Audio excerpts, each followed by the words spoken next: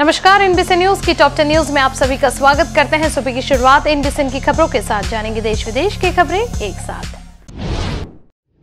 पुणे के वाघोली इलाके में एक गोदाम में आग लगने से तीन लोगों की दर्दनाक मौत। रक्षा मंत्री राजनाथ सिंह जम्मू पहुँचे। राजौरी व पुंछ में चल रही सेना के ऑपरेशन में करेंगे समीक्षा। कर्नाटक चुनाव, बेंगलुरु में पीएम मोदी का मेगा रोड शो हुआ शुरू। नीतीश कुमार ने हिंसा प्रभावित मणिपुर में रह रहे बिहार के लोगों के लिए मांगी सुरक्षा।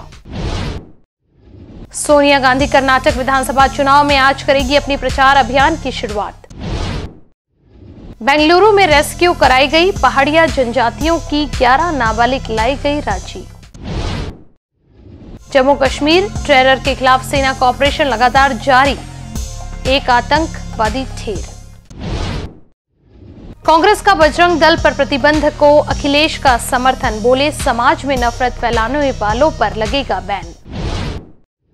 जंतर मंतर पर बैठे पहलवानों को समर्थन देने पहुँचे राहुल गांधी। पहलवानों का धरना प्रदर्शन लगातार जारी।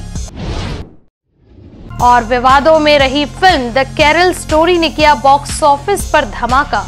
दी कश्मीर फ़ाइल से भी की डबल ओपनिंग।